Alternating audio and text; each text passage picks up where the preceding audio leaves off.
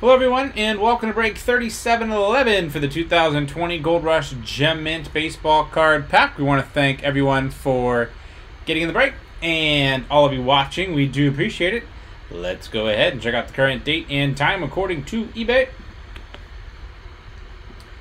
It's Thursday, October 29th, 2020. It's 11.09 p.m. Eastern Time, 10.09 p.m. Central Time, and 8.09 p.m. Pacific Time. In the break, we have MDK 1 Division, Michael 2, Hess 2, Custom Packs 2. Let's randomize you guys seven times to determine our divisions. Once, twice, three times, four, five, six, and lucky number seven has Hess on top, Michael Ashley on the bottom. Hess, you have the AL Central, MDK AL East, Hess AL West, Custom Packs NL Central and NL East.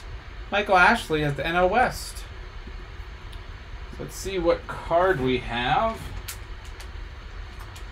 And whichever team's on the card, the division they're in, that's where the card is going.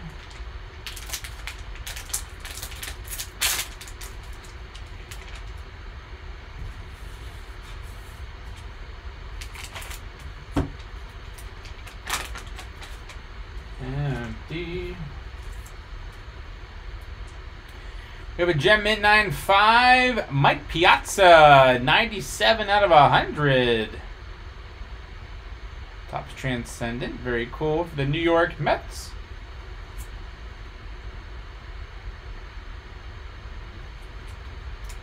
Alright, let's see who has the New York Mets.